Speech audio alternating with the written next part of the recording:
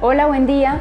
Yo soy Susana Osorno Pegui, soy la directora de Docencia, Investigación e Innovación de la IPS Universitaria. Hoy vengo a hablarles de un tema que me entusiasma muchísimo, además me hace sentir muy orgullosa, y es de la convocatoria de innovación abierta entre la Universidad de Antioquia y la IPS Universitaria. Una convocatoria que busca financiar proyectos desde la investigación aplicada que le den respuesta a los problemas reales, en este caso de nuestra institución, la IPS Universitaria, quien ha hecho un trabajo arduo para identificar grandes retos a los que no les hemos encontrado solución desde los mecanismos tradicionales. El primer reto nos sitúa en un escenario hospitalario bastante importante y es el quirófano. Quirófano que atiende día a día cientos de pacientes, Hoy le queremos decir a los investigadores que la IPS universitaria quiere mejorar la eficiencia de sus quirófanos, encontrar un proceso, una herramienta, un modelo que pueda mirar cada uno de esos componentes de eficiencia, no solo como beneficio económico institucional, sino como beneficio a los pacientes que pueda mejorar la oportunidad de cirugía de cada uno de ellos. El segundo reto es un reto bastante interesante los médicos tomamos decisiones a la luz de la mejor evidencia posible en la ciencia, en la literatura médica. Normalmente esa evidencia se sintetiza en unos documentos que llamamos guías de práctica clínica. Para el caso de la IPS universitaria ha sido un reto no solo lograr la mejor adopción de la guía que se, adopte, que se adapte a nuestro sistema de salud, y a los dispositivos, medicamentos que tenemos disponibles en Colombia, sino que adicional a eso tenemos el reto de lograr implementar las guías, lograr adherencia y posteriormente medir el impacto de las mismas. Así pues, invitamos a nuestros investigadores que nos muestren tal vez modelos, guías, sistemas para lograr adoptar las mejores guías, implementarlas y lograr adherencia en las mismas.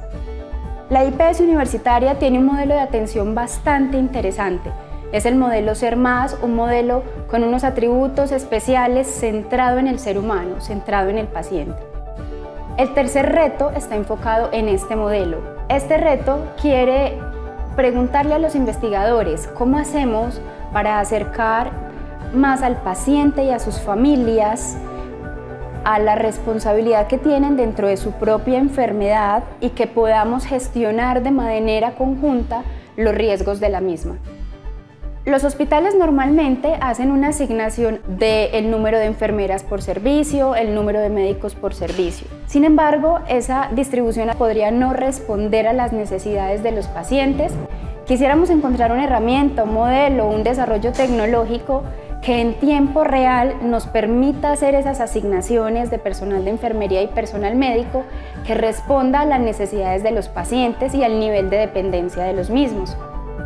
Queremos hablar de unos pacientes bastante importantes en nuestra institución que representan estancias hospitalarias muy prolongadas. Los alejan mucho tiempo de su hogar, de sus familias, de su ámbito de vida común y corriente. Son pacientes que nosotros llamamos pacientes de rehabilitación intestinal, que tienen fístulas de alto débito y que deben quedarse hospitalizados porque requieren unos sistemas de succión especial que solamente están en el ámbito hospitalario.